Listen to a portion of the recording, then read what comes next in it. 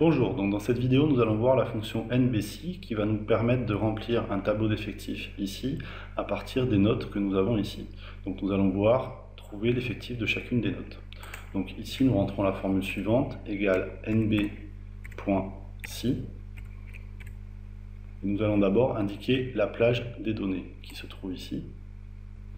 Ensuite nous allons indiquer que nous voulons compter combien de notes 0 sont dans la plage de données et on appuie sur la touche entrée. Ici, il y a 0 notes qui sont égales à 0. Maintenant, on va vouloir étirer cette formule. Le problème, c'est que si on étire la formule, on va aussi étirer la plage de données.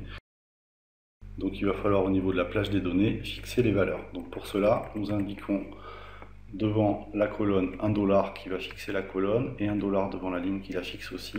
Et faisons pareil pour la fin de la plage de données, comme ceci. Donc maintenant, nous allons pouvoir étirer la formule et il va nous calculer automatiquement les effectifs de chacune des notes.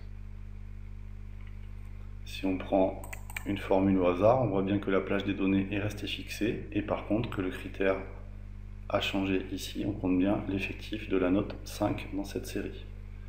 Donc maintenant nous pouvons calculer l'effectif total, donc il suffit pour ça de calculer la somme de tous les effectifs que nous avons ici.